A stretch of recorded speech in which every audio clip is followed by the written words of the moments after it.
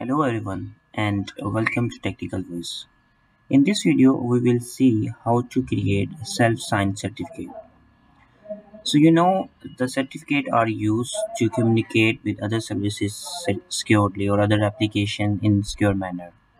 So definitely in production uh, you purchase or uh, get the real certificate but for the development and testing purpose you might need a temporary certificate that you can create your own so you can create the self certificate uh, by running uh, these set of commands that you can find in the description of this video.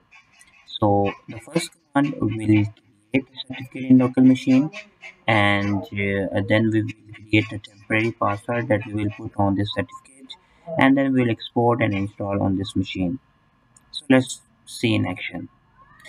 So open the uh, PowerShell run as administrator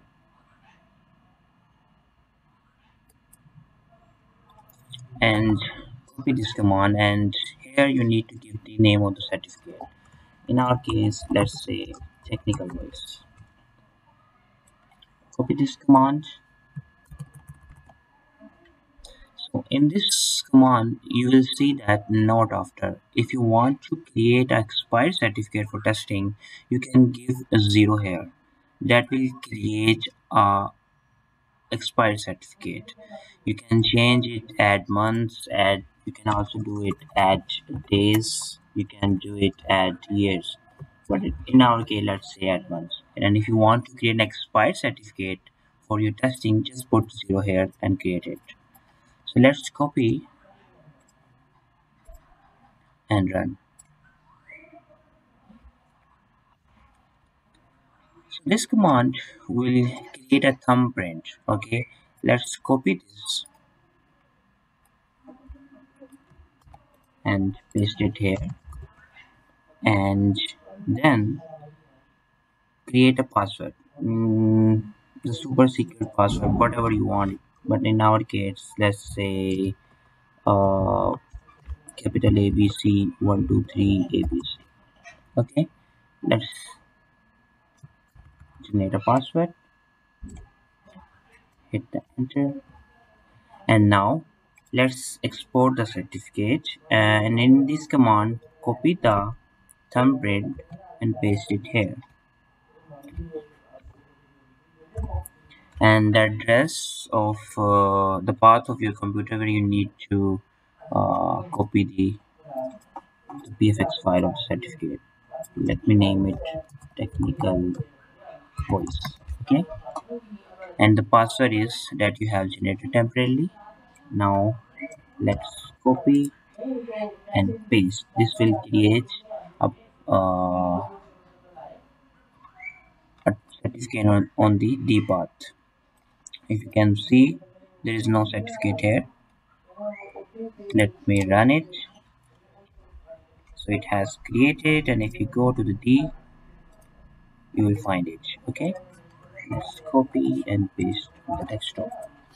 Now let's see how we can install it. It's very easy. If we go to the manage certificate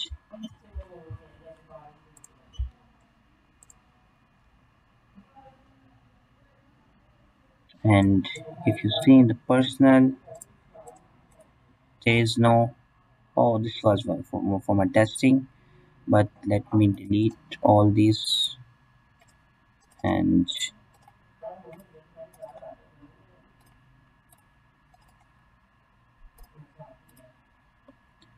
let me run and install it. Current user or local machine I'm going to use in the local machine. Next. Next it will ask a password abc123 abc okay. And next and you can put where you want to do. Let's say i'm going to open personal. Next finish. It's imported and if i refresh it you can see it has installed. Okay. And if i click on it you can see the details and certificate path.